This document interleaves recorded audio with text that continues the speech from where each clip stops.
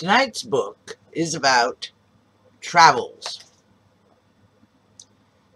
Turkey, Persia, and thence on to India. Now, Mr. Uh, Taverner, or Tavernier, bought and sold precious gems, including diamonds. At the time, India was the diamond capital of the world because South Africa hadn't been discovered yet, and neither had Botswana, which is now the number one producer of diamonds. Still, the uh, the travels are rather interesting. Oh man, what they had to go through. Ah, just the transportation alone was enough to kill you. Then you have the various pashas and rajas and so on of every region you went through since international law. Oh, please. Now for ordinary people. No nation goes over goes to war for one person, especially just a rich jewel merchant. I mean, really. So, what we have is, is to get to here to there, you travel this way, this you'll see on the way, and here's a story that I heard, or here's what happened to me, or now, unfortunately, it's all seen through a snooty kind of lens. Those of a different faith are idolatrous, for example. But he seems to have been friendly with practically everybody because he made six voyages. He was always well received. He didn't seem to run into any problems, at least none that he really made a fuss about at the time.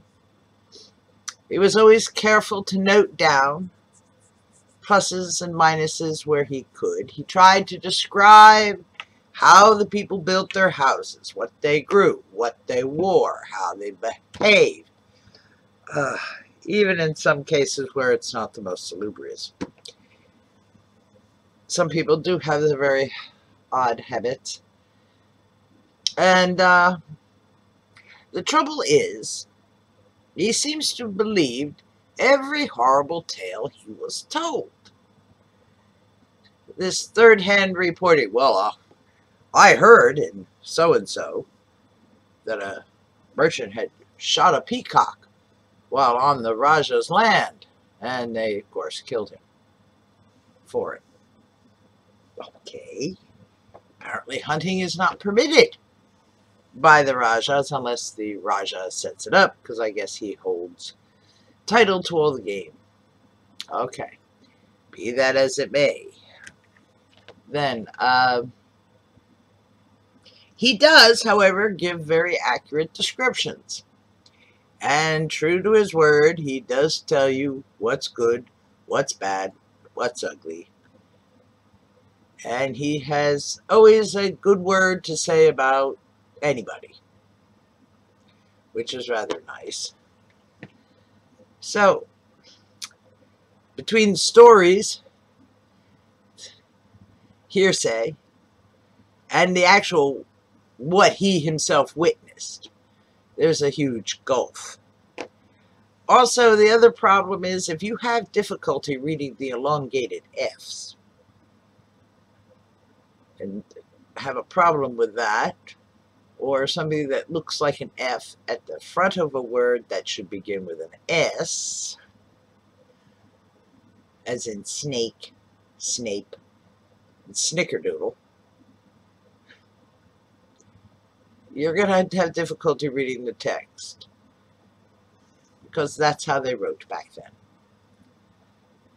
He does not include a great deal of French,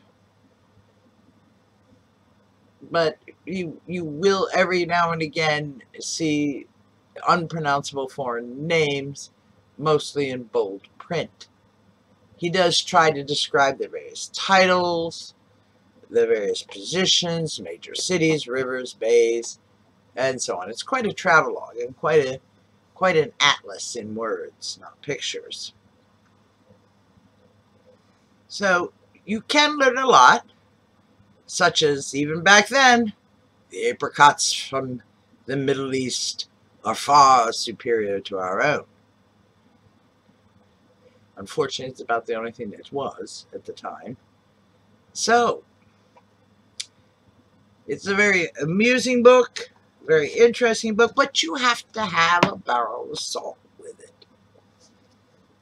Especially as far as the tales go. There are some illustrations showing the various coins of the regions. The quality of the text somewhat marred with sundry black marks hither thither tend to obscure things. For example, here. They also have the little quaint habit down here at the bottom of the page. Perhaps you can see it. The first word of the subsequent page will also be printed down here. And when you turn it over, yes, that is the word that appears.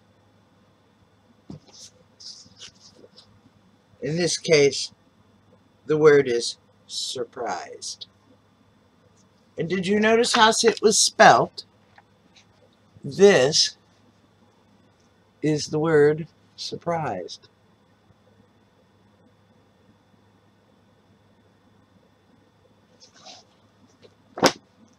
Begins with an, what appears to be an F, as in fox.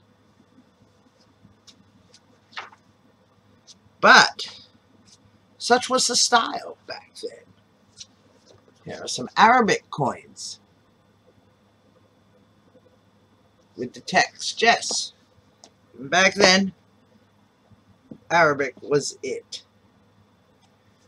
Also, you will find later on in the margins what's known as glosses. Basically, it gives you a very shorthand way of knowing what is going to be in this particular paragraph. As you can see, there's several on a page. This also was very common. You can even see such things in the uh, in the first books written by the Puritans. It was printed in Britain, of course, but it was written and sent back for printing. And then the copies sent over later. But you also find them there in the 1700s and even into the 1800s. You'll find glosses and uh, the whole thing about the little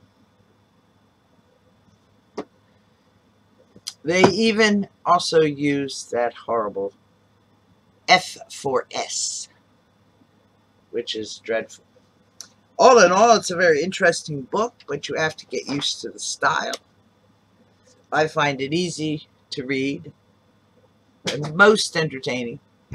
So I would recommend it for those who are into travel, back when travel took more than a passport, visa, and an airline ticket. Thank you for watching, and please do come again.